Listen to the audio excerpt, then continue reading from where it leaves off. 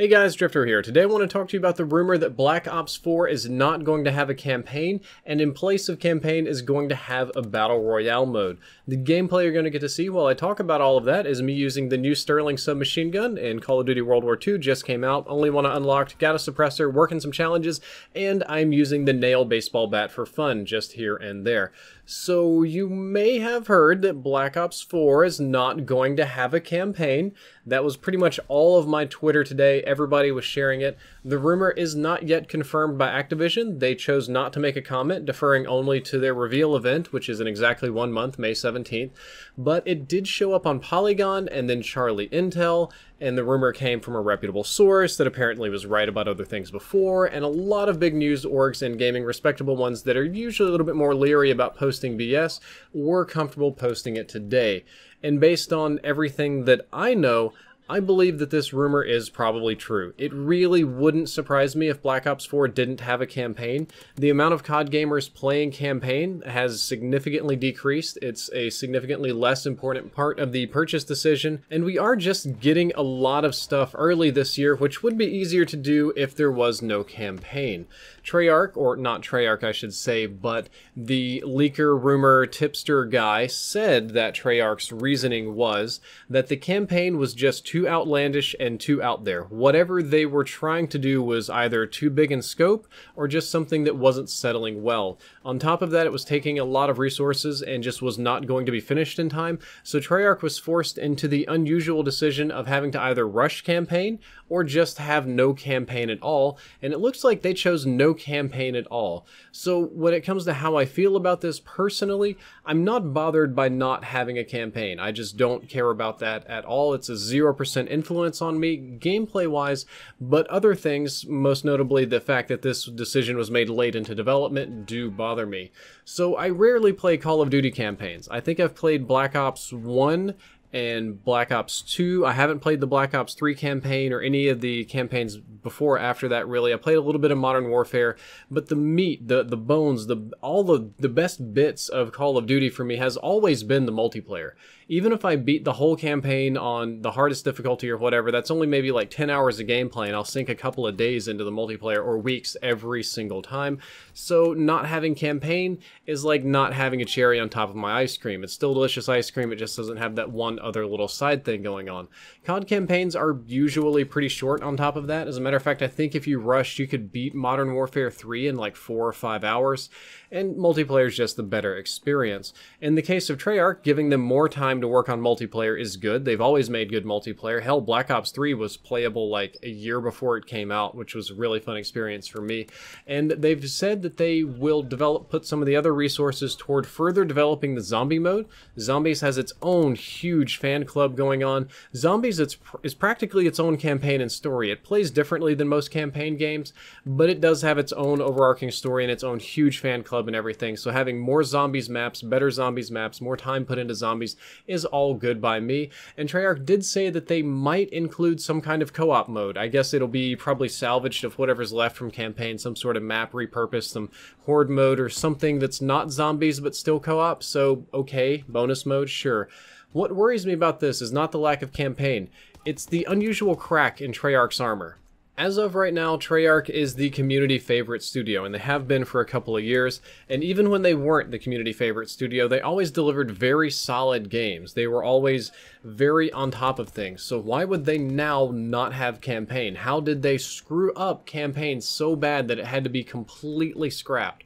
COD's had a campaign for 15 years now, and it's just sort of a traditional thing. A lot of fans will miss it. There's a lot of casual players or offline players that'll miss it too. A lot of people overseas that don't have good internet and surprisingly do buy the game for campaign.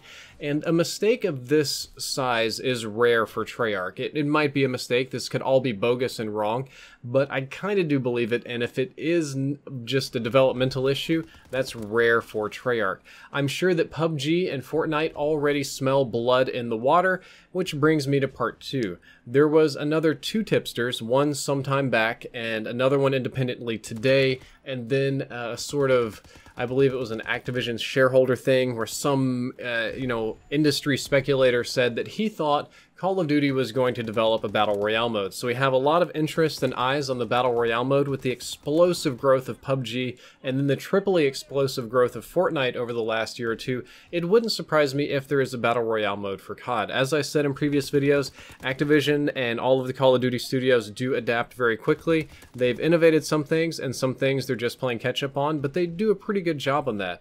I think this rumor is true as well. You already have a sort of prototype one working for COD Online in China, and it's very clear that if you want to make money and be successful in the gaming industry, Battle Royale is the place to be at the moment. So doing that is just a smart business decision. Like if Activision wants to make money, they're going to make it on Battle Royale. The best thing that they could possibly do to just blow up the COD player base and make it huge like Fortnite is, and I think Fortnite just kind of lit a fire under the butt of console developers. So PUBG was an explosive phenomenon on PC, 100%, but it never really caught on console because the game wasn't optimized for it. Fortnite literally exploded on console, exploded on mobile, and still does very well on PC, so it showed that console gamers are very apt to Battle Royale games. So I think the best thing they could do is kind of emulate the Fortnite model. I think it'd be awesome if Call of Duty Battle Royale was just completely free to play. Anybody could play COD Battle Royale, load it up with cosmetic microtransactions, give me a new $20 skin every day. I don't care as long as they're not behind loot boxes and it'll be it'll be just fine and dandio because uh, it doesn't matter. Cosmetics just don't matter to me, whatever people want to spend on them. And the player base will grow very quickly. It wouldn't be bad if it was just included in the game either. Just included in the game would be pretty good because you just get the $60 game and you get Battle Royale on top of that. So it's kind of like you get a full game with a little PUBG included. I would be really sad if it was something that was tied behind an additional pay tier like a season pass or a DLC or something else that you had to buy into on top of the game because then you wouldn't even have the players to play it.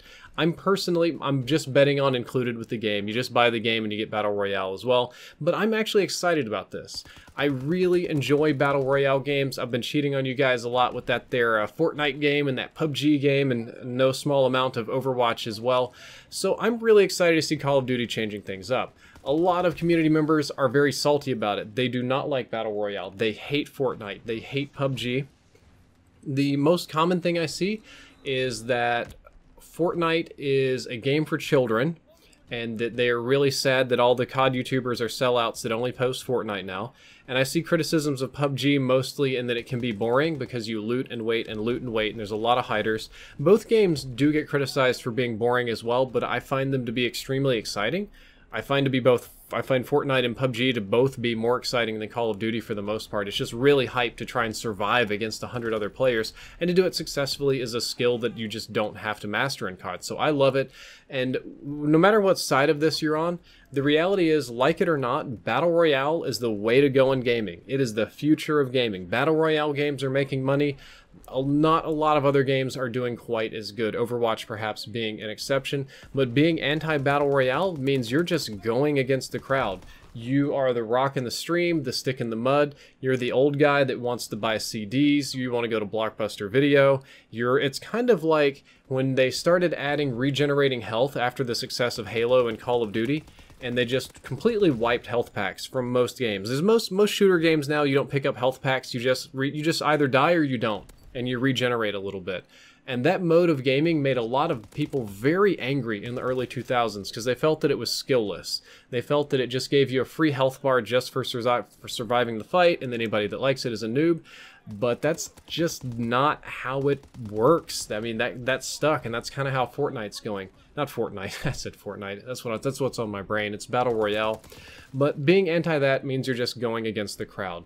Battle Royale may be a fad, but it's going to be at least a moderate term fad. It's going to be a two or three year fad, just like MOBAs around League of Legends or hero games around Overwatch or microtransactions being put in games. It's already done. So many studios are gearing up for their own Battle Royale games and their own takes on this. It's just going to happen now, whether we like it or not. So I'm just going to get on board that train and ride it out. Personally, I've been wanting a COD Battle Royale for ages now. Uh, right after playing PUBG, the first thing I thought is, gee, wouldn't it be great if I could take a smooth, optimized game like Call of Duty and play it in Battle Royale? Wouldn't it be great if I could play a game that didn't have 15,000 glitches like PUBG and play it in Call of Duty. And a lot of you are going to criticize Call of Duty and say it's not smooth and it lags and it has glitches. And if you think Call of Duty's bad and unoptimized, just go play PUBG for a couple hours and come back and report to me. That game is it, it's a bit rough. Even Fortnite is a bit rough, but you take a polished game like Call of Duty and make it Battle Royale, that could be juicy. But that's enough about what I think. I want to hear what you think. Let me know what you think in the comments. If you enjoyed this video, don't forget to like, favorite, and subscribe. Drifter out.